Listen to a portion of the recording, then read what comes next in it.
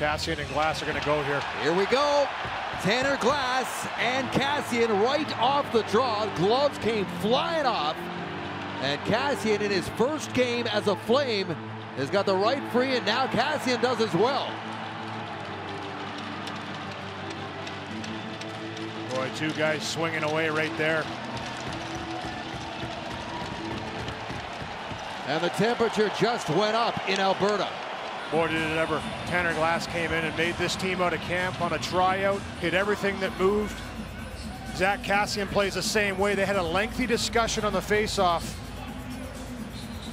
Zack Kassian's gonna go get a little bit of repairs.